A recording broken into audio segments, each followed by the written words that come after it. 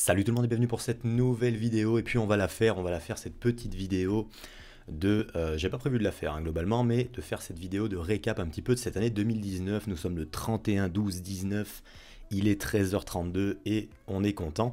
Alors du coup dans cette vidéo ce que je vais faire c'est qu'on va faire le récap un petit peu, ça se fait beaucoup. Je me suis dit pourquoi pas, alors ça va être, euh, je vais vous montrer un petit peu bon, les stats de la chaîne, on va regarder un petit peu tout ça. On va regarder les analytiques, comme ça tous ceux qui veulent voir la YouTube monnaie, euh, une fois que je leur ai montré, pourront se barrer. Et, euh, voilà, donc on va faire un petit peu le, bilan de cette année 2019, un petit peu ce qui s'est passé sur la chaîne, les vidéos et tout ça, qu'est-ce qui a marché, qu'est-ce qui a moins marché, et qu'est-ce que je prévois pour l'année 2020. J'ai fait un petit post j'ai fait un petit post sur l'onglet YouTube qui est juste là pour vous prévenir un petit peu de tout ça. J'étais pas sûr de faire une vidéo récap, mais bon, je me suis dit pourquoi pas. On va faire un petit peu euh, tout ça. Donc euh, bon, pour tous ceux qui attendent quelque chose en fond, hein, ça va être l'analytique de YouTube en fond toute la vidéo. Donc comme ça, ça va être, bah sera comme ça et ça ira bien. Du coup, bon, on va, on, se met sur cette petite page. Alors ça va vous montrer un petit peu l'envers du décor, on va dire. donc sur les dernières vidéos, le classement par rapport aux vidéos, voilà, comment elles sont sorties, le nombre de vues, voilà, le nombre de vidéos qui ont bien marché, numéro 1, numéro 2, numéro 3, 4, 5, 6, 7, 8, 9, 10, juste là. Et euh, voilà, donc ici 6086 abonnés, donc cette année on regardera un petit peu plus en détail combien il y a eu d'abonnés cette année, mais bon ça fait, euh, bah, merci pour les 6000 déjà, je crois que je ne l'avais pas fait, peut-être en live, je sais plus.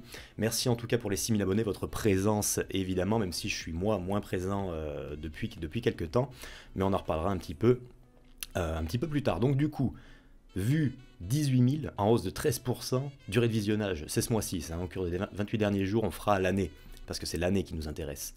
Euh, voilà, 33,78$, une petite hausse de 5% sur les revenus, et les vidéos qui ont le, qui, les plus regardées, pardon, ces dernières 48 heures, là en l'occurrence, ce n'est absolument pas des vidéos sur Fallout 76, c'est des vidéos sur Fallout 4. Mais bon, c'est pas cette version-là d'analytique, moi, qui m'intéresse. Les derniers abonnés, d'ailleurs, hein, ici, abonnés récents, Quentin Marical, Jérémy FR Hydra, et les Paris Max. Très bien, merci à vous. Euh, moi, c'est pas ça qui m'intéresse, moi, c'est la version studio classique. La version studio comme ça, elle me plaît pas. Elle me plaît pas parce que je trouve qu'on peut pas voir comme on veut. Voilà, 6090 même pour être plus précis. 72 abonnés ce mois-ci, 34 dollars. Bon, les commentaires récents, on connaît. On va aller dans ce petit onglet là. L'onglet qui intéresse tout le monde. Ah oui, mais du coup, je dois me rendre dans lui et revenir. Voilà, comme ça. C'est compliqué, hein. C'est compliqué. C'est une vidéo de chill. C'est une vidéo de chill, on va parler. Je voulais le faire en live à la base. À la base, je voulais le faire en, je voulais faire en live, mais je me suis dit, bon, s'il y a 30 minutes à traiter, est-ce que ce sera intéressant? Je pense pas. Donc je me suis dit, pourquoi pas le faire, euh, le faire en vidéo, pour faire un petit peu le récap. Voilà, il y en a qui font des lives de chill, moi je fais des vidéos de chill. Faut être, faut être le premier dans son concept, toujours. Donc top 10 des vidéos, ça encore une fois, c'est ce mois-ci. Fallout 76, les 4 premières vidéos, et du Fallout 4, un Fallout 4 qui plaît toujours. C'est des vieilles vidéos, ça je crois, hein, construire une tour de contrôle. Ah oui, 2016. 2016, 2016, c'est tout 2016, hein, je crois. Même fin d'année 2016, c'est tout fin d'année 2016. Bon, ce qui nous intéresse, nous, c'est de faire le bilan de l'année, parce que c'est le titre de cette vidéo. Donc 365 derniers jours, il y aura peut-être un petit peu de décalage vu qu'on est le 31, mais bon, globalement, ça nous fera une idée. Alors on regarde toujours, euh, quand on est dans nos analytiques, on voit toujours ça au mois, mais c'est vrai qu'à l'année, on le regarde assez peu, et c'est vrai que moi je le regarde pas du tout. Donc là, vous allez voir, voilà, vous le voyez ici, durée de visionnage 1 700 000 euh, de durée de visionnage. Donc 3 ans et 150 jours passés à regarder mes vidéos. Donc vous avez perdu beaucoup de votre vie. Durée de visionnage moyen 5 minutes 50. Donc beaucoup de votre vie, ma petite dose. Et 300 euh, 000 vues cette année, ce qui est énorme. Ce qui est vraiment énorme. Ce serait marrant d'avoir un, récap chaque année en fait. Je sais pas si c'est possible d'avoir ça. Et 459,61 dollars cette année. Voilà, pour tous ceux que ça a intéressé. Est-ce que je peux le montrer? Oui, je pense que je peux le montrer. Il n'y a pas de confidentialité par rapport à ça. Je pense que c'est le choix de chacun. 9500 j'aime, 500 je n'aime pas, 10 000 commentaires. Je crois que dans les commentaires, il y a les, chats aussi des, des lives. Il me semble qu'ils sont comptés dedans. 600 partages et 1500 abonnés cette année, ce qui est un chiffre très très correct, sachant que j'ai pas forcément publié énormément de vidéos cette année. Euh, ça, je crois qu'on n'a pas le détail d'ailleurs du nombre de vidéos qui a été fait, donc entre là, en l'occurrence, le 29 décembre 2018 et 28 décembre 2019. Donc il y a quelques petits jours de, décalage, quelques données qui sont pas encore prises en compte, mais bon, c'est pas très grave. En tout cas, 1500 abonnés cette année, euh, je crois que c'est grosso modo la même chose que l'an dernier, à peu près, donc c'est méga cool, je suis méga content. Bienvenue à vous d'ailleurs. Euh, je suis assez content parce que du coup, euh, étant donné que 95% du contenu de cette année a été basé sur Fallout 76, qui n'est pas forcément le jeu le plus fédérateur en termes de communauté en ce moment, euh, bah, je suis assez content. Je suis assez content de ça. Je pense que cette année, j'ai dû faire, avec le Let's Play de Red Dead, parce que le Let's Play Red Dead, ça a ajouté quelques, quelques vidéos. Sachant qu'il n'est pas fini, hein. il y a des vidéos qui sont encore en, en private. Est-ce que je les mettrai en public un jour? Je ne sais pas. Voilà. 1500 abonnés. Euh, cette année, j'ai dû faire, ouais, je pense 70, 70 vidéos, je pense que j'ai dû faire cette année, grosso modo, entre 60 et 70 vidéos. Les vidéos qui ont le mieux marché, donc le top 10 vidéos, là en l'occurrence, c'est à l'année. Euh, donc en durée de visionnage, hein, c'est comme ça que c'est pris de base. Les vidéos Fallout 76, qui marchent bien, la série des visites de camp qu'on revoit ici, ici, ici, ici. 4 vidéos visites de camp quand même dans le top 10. Donc une série qui a pas mal plu et une série que je vais continuer d'ailleurs. Hein. J'attends de, bah, de pouvoir record un petit peu pour en refaire un petit peu. Je pensais en faire une ce soir, mais je me suis dit bon le 31 au soir, est-ce qu'on a vraiment envie de faire ça? Euh, Je sais pas. Donc voilà, les visites de camp au niveau du nombre de vues, parce que c'est pas tout à fait la même chose. Euh, en top 10 des vidéos de cette année, c'est des vidéos. Donc la première vidéo, c'est une vidéo sur Fallout 4, le top 6 des modes de construction, une très très vieille vidéo. Hein, qui a plus de bah, qui a 3 ans maintenant, hein. un peu plus de 3 ans, le guide des mutations. On voit qu'il y a quand même pas mal de vidéos sur Fallout 4 hein, qui, reviennent. en termes de revenus, voilà la vidéo la plus rentable pour savoir un petit peu ce qu'on va faire, ce qu'on va faire l'an prochain. L'objectif c'est de gagner de l'argent, beaucoup d'argent. voilà, donc bon, Fallout 76, guide des mutations, 14 euh, dollars. Borderland. Ah oui, la vidéo sur Borderland, le build critique de Flak, 11 dollars. Ah ouais, putain, dans le top 10, c'est une vidéo sur Borderland. C'est dingue ça. Pourtant, j'avais pas fait tant que ça des vidéos sur Borderland. J'en ai pas fait tant que ça. J'avais essayé justement sur Borderland de refaire un petit peu ce que j'avais fait. Euh, c'est pour ça on va enchaîner avec la suite euh, de ce que je compte faire. En fait, j'avais essayé avec Borderland de refaire un petit peu ce que j'avais fait avec euh, Fallout au tout début et ce que j'ai fait aussi avec la série des Monster Hunter. Donc, c'est des vidéos qui ne sont plus disponibles sur, sur ma chaîne. Je les ai supprimées l'an dernier. Et je pense que d'ailleurs, la série de vidéos sur Monster Hunter, c'est la série de vidéos que je regrette le plus d'avoir supprimée. Euh, parce que c'était une série de vidéos où je m'éclatais à faire des vidéos dessus. Euh, mais du coup, vu que j'avais lâché un petit peu le jeu entre temps pour euh, revenir un petit peu sur Fallout, etc., bah, du coup, je me disais, bon, je peux plus vraiment sortir de vidéos parce que je suis plus forcément au courant des actus du jeu. Et c'est un petit peu, je pense, mon gros défaut. Ce qui fait que j'ai envie de me diversifier euh, et de sortir un petit peu de ce, moule Fallout, euh, j'en parle souvent et j'ai souvent envie de le faire. Et avec la série Monster Hunter, j'avais réussi à faire ça, puisque globalement les vidéos sur Monster Hunter à l'époque de la sortie du jeu et même 6 euh, mois après marchaient, marchaient même mieux que les vidéos sur Fallout, que Fallout 4 ou Fallout 76. Non, Fallout 4, pardon. Marchaient mieux que les vidéos sur Fallout 4. Et du coup, bon, avec Iceborne, je me serais dit, en fait, sur Monster Hunter, le truc, c'est que je me suis dit, bon, je vais arrêter un petit peu la série de vidéos sur Monster Hunter pour justement bah, préparer ce qui va arriver sur Fallout 76, etc. Et bah, il se trouve que cette année, et euh, même à ce moment-là, au moment où j'ai arrêté la série Monster Hunter, il se trouve que euh, bah, Fallout 76, je m'attendais à ce qu'il y ait beaucoup plus d'ajouts que ça. Donc je me suis dit, si je mets les deux jeux à côté, euh, est-ce que je vais arriver à maintenir un contenu assez régulier? Et au final, c'est pour ça que je regrette un petit peu d'avoir supprimé la série de vidéos sur Monster Hunter, parce que c'est une série de vidéos que j'avais beaucoup aimé faire. Euh, mais du coup, le fait, en fait, j'ai ce problème que quand je peux pas maintenir une série de vidéos, euh, généralement, j'arrête une série totalement et je supprime les vidéos. C'est un petit peu un gros défaut, c'est très con de faire ça d'ailleurs, mais c'est un petit peu, euh, ce que je fais, c'est ce que je me tâte à faire avec Borderlands 3 d'ailleurs. voilà, on va, on va recommencer un petit peu la connerie. Mais voilà, sur, sur Monster Hunter, ce qui m'avait beaucoup plu, c'est que j'avais énormément joué au jeu. Et euh, du coup, quand j'ai commencé à faire les séries de vidéos un petit peu poussées, donc quand il y avait des nouveaux sets qui sortaient avec des nouveaux monstres, on faisait les analyses de sets, c'était des vidéos qui plaisaient beaucoup, euh, qui plaisaient beaucoup, qui me plaisaient beaucoup à faire, et qui, bon, avec les commentaires et tout ça, ça plaisait beaucoup à regarder aussi. C'était des analyses un petit peu à la con, mais c'était vraiment marrant à faire. Et c'était bah, typiquement le genre de vidéo que j'aurais voulu continuer à faire sur, euh, sur Monster Hunter. C'est pour ça que je regrette un petit peu d'avoir stoppé la série. Est-ce que je pourrais la reprendre? Bah, Je pense pas, du coup, hein. je pense qu'il faut vraiment avoir une base. Euh, de, vidéos, j'avais fait une base de vidéos de tutos, de guides, et après j'étais passé aux analyses de sets, etc. Euh, parce que c'est des choses que j'aimais beaucoup faire, parce que c'est un jeu où j'ai beaucoup joué, et, euh, du coup ben, j'étais un petit peu au courant de ce qui était grosso modo un petit peu les méta, les sets méta et tout ça, j'étais assez au courant de ce qui se passait en jeu, et, et du coup ça me pour moi personnellement, je trouvais que j'avais une légitimité, enfin pas une légitimité, pas non plus, mais euh, voilà, je disais que si je faisais une vidéo comme ça, dans ma tête, je me disais, en gros, j'ai pas mal de temps de jeu, donc forcément, je vais pas forcément dire de la merde, donc c'est des contenus que j'aimais bien faire parce que c'était des sujets que je maîtrisais plus ou moins, et euh, ce qui m'a un petit peu euh, refroidi au moment de Iceborne, c'est que je maîtrisais plus du tout le truc parce que d'autres sets étaient sortis, de nouvelles méta entre guillemets étaient sorties au niveau du PVE, parce qu'il n'y a pas de PVP de toute façon dans Monster Hunter. Euh, et du coup, bah, je me suis dit, bon, si je reprends une série de vidéos et que j'ai pas fait les anciens sets parce qu'il y a des sets qui sont là pendant un certain temps, euh, bah, du coup, je vais peut-être raconter de la merde parce que peut-être que tel set, il y a telle semaine était meilleur.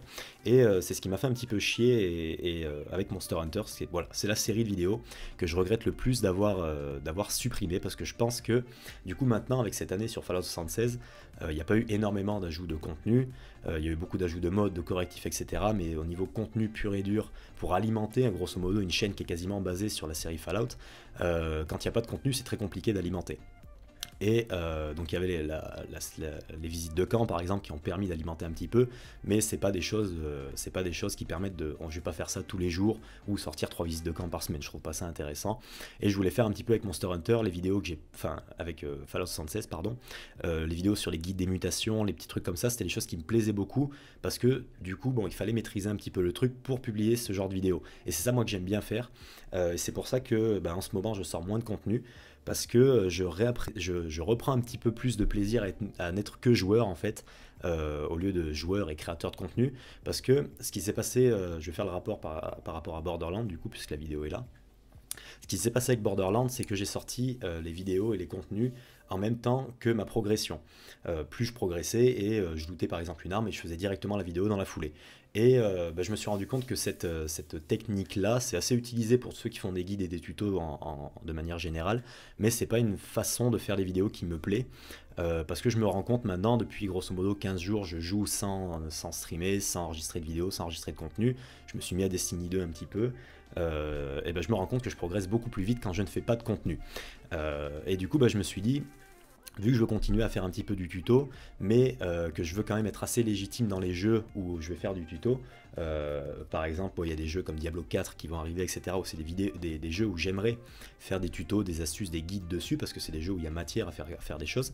Euh, je me suis dit, est-ce que je fais des vidéos justement comme j'ai fait là avec Borderland au cours de ma progression, ce qui va forcément la freiner un petit peu, parce que le temps de faire la vidéo, l'enregistrement, le montage, la publication, la miniature, bah, c'est du temps où on ne joue pas. Euh, et quand on a assez peu de temps pour jouer, ben, on préfère passer du temps à jouer plutôt qu'à faire ça et dédier justement un jour dans la semaine pour faire la cover audio de, toutes ces astuces et contenus que j'aimerais produire. Et je pense que c'est ça que je vais faire euh, à partir de l'année 2020. Ça va être une nouvelle manière un petit peu de, faire mon contenu et de voir mon contenu. Donc vous verrez pas forcément vous la différence. Mais en tout cas pour moi je pense que ce serait la meilleure manière de proposer un contenu où le sujet est assez maîtrisé euh, et, voilà, moi c'est ce que je veux faire, c'est proposer des contenus, des guides et des astuces. Ça, il y a beaucoup de gens qui le font, mais moi je veux le faire euh, en maîtrisant le sujet, euh, en maîtrisant le jeu, en ayant une connaissance quand même du jeu, que n'importe quel jeu qui va arriver où il y aura matière à faire des astuces et des tutos. Je veux quand même avoir une assez grosse connaissance du jeu. Donc je pense que maintenant ce que je vais faire, c'est au lieu de sortir euh, des vidéos, guides, astuces, etc. en parallèle de ma progression. Je vais d'abord faire ma progression, maîtriser le jeu et après sortir les vidéos. Donc forcément, ce sera des vidéos. S'il y a des astuces sur des jeux AAA, ce sera des vidéos qui seront un petit peu revues euh, parce qu'il y a des gens qui font ça au cours de leur progression hein, au niveau des astuces. Euh, mais moi, j'ai pas envie de faire ça comme ça. Donc voilà, ce sera peut-être des choses, des astuces, des localisations qui seront déjà vues, déjà montrées autre part sur Internet, que ce soit sur les forums, sur YouTube, etc. Mais même si je les sors plus tard, euh, euh, c'est le genre de contenu que j'ai envie de faire pour, euh, pour 2020. D'abord jouer, maîtriser mon jeu, enfin prendre plaisir à jouer parce que forcément quand on fait, quand on fait des vidéos en parallèle, quand on joue et qu'on fait des vidéos en parallèle, bah, quand on a une localisation, forcément on coupe un petit peu on coupe notre progression dans le jeu pour préparer la vidéo, la sortir et après on reprend notre progression. Donc euh, voilà, je trouve pas que c'est une manière, euh, pour moi c'est pas une manière très intéressante de faire. J'ai essayé de faire ça avec Borderland et, euh, du coup j'ai trouvé que c'était pas une manière ouf de faire des vidéos astuces, des vidéos guides. Donc dorénavant c'est là-dessus que je vais essayer de m'orienter. Donc il y a pas mal de jeux qui, qui m'intéressent. Sur Borderland grosso modo, j'avais essayé de faire un petit peu, donc, comme avec Monster Hunter et comme avec Fallout au début, proposer des guides, des builds, etc. Donc on voit que la, vidéo a, plutôt bien marché, en nombre de vues, etc. C'est une vidéo qui a plutôt bien marché, plutôt été bien reçue, et puis c'est une vidéo voilà, que j'ai bien aimé faire, le truc des builds de Theorycraft, ça me plaît beaucoup. Mais voilà, dorénavant, je vais essayer de faire ça. Euh, je vais essayer de faire ça, euh, de plus jouer, plus maîtriser mes sujets et après sortir des vidéos. Et je pense que ça en fera des vidéos plus intéressantes à regarder, un peu plus quali en soi. S'il y a quelqu'un qui est un petit peu calé sur le jeu, c'est plus agréable, je pense, à regarder au niveau des guides et des astuces en tout cas, que, euh, que des vidéos faites un petit peu au cours d'une progression. Euh, voilà, donc moi quand j'aime regarder des vidéos, par exemple typiquement des vidéos d'astuces, j'aime bien que, euh, que la personne que je regarde ait déjà une, certaine connaissance du jeu pour qu'il ait un petit peu la, pour être sûr que cette astuce est vraiment viable, etc. Donc voilà, c'est ce que je vais essayer de proposer pour, pour 2020, ça va être cette nouvelle manière de, faire un petit peu mes vidéos. Donc euh, voilà, grosso modo, je vais passer plus de temps à jouer, moins de temps à faire des vidéos. Donc il y aura peut-être pas forcément moins de vidéos parce que là il y a eu un petit ralentissement sur la fin d'année. Mais j'essaierai par exemple, si je fais une grosse progression sur 15 jours, euh, bah, j'essaierai de préparer, par exemple, pendant le temps où je peux faire une cover, j'essaierai de préparer 2 à 3 vidéos pour alimenter euh, au, fur et à mesure au fur et à mesure dans la semaine, par exemple, qui suivra. Donc voilà, je pense que c'est une bonne manière de, faire les choses. Diversifier au niveau des jeux, je vais essayer de le faire aussi. Euh, mais voilà, pour ça, il va falloir du temps de jeu. Et je pense que pour proposer des astuces et des vidéos un petit peu build d'astuces comme ça, qui sont voilà les vidéos que je préfère faire et qui plaisent le plus d'ailleurs sur ma chaîne, je pense que c'est comme ça que je dois faire ce qui me permettra en même temps de, euh, si je joue plus, de couvrir peut-être plus de jeux. Euh, euh, et, voilà, donc typiquement avec Destiny, je joue pas mal à Destiny, je me renseigne pas mal sur le jeu. Alors bon, j'ai pas beaucoup d'heures de jeu, hein, j'ai 70-80 heures, mais j'ai pas attaqué il y a très longtemps. Donc je me rends compte que j'arrive à progresser, à avancer, à comprendre un petit peu le truc plus rapidement quand je ne suis que joueur et, un peu moins créateur. Donc du coup, je pense que je vais faire ça pour 2020. Ça va être un nouvel objectif, une nouvelle façon de travailler un petit peu les vidéos. C'est vraiment ce que j'ai prévu. Au niveau des jeux, j'ai Cyberpunk évidemment qui est en tête.